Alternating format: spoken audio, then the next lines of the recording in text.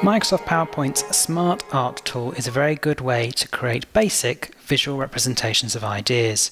So I've got an open PowerPoint slide here, a nice blank PowerPoint slide, and I'm going to go to the Insert menu at the top, and from the Illustrations part of the Insert tab, just clicking Smart Art.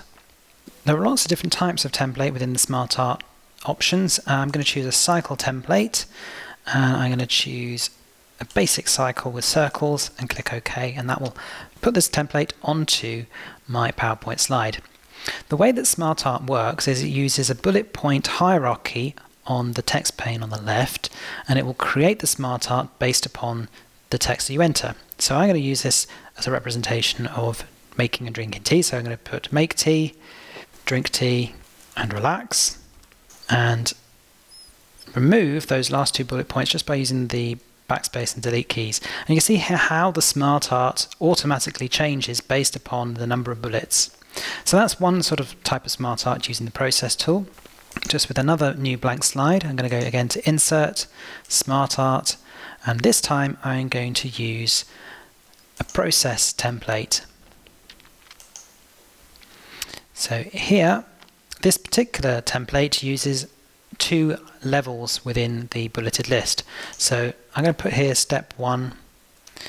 The second bit of text, I'm going to put explanation and repeat. And if I wanted to add another one in, um, if I typed in another enter at the end of it, um, and I just typed in step four, you can see actually that step four belongs to step three. So I'm going to use the demote and promote options if I need to move anything up and down the hierarchy. So step four needs to be a top level. So I'm going to promote that. And now you can see how step four has jumped to an arrow and we can add in another explanation for step four.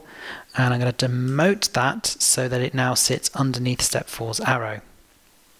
If you want to color any of these, you can just select the individual arrows and then go to the format option and change the shape fill.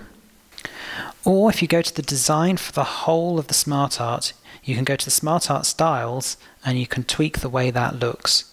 Make sure that you choose a style that is appropriate to your audience and that's going to be clear and illustrates what you're trying to show through the ideas presented in the smart art diagram. Once you have created a smart art template, you can change the layout as well. Um, it doesn't always work. So for example, if we switch to a standard process here, you can see the explanations now drop down underneath rather than being part of a smart art template. But you can find templates that work for the content that you're trying to present.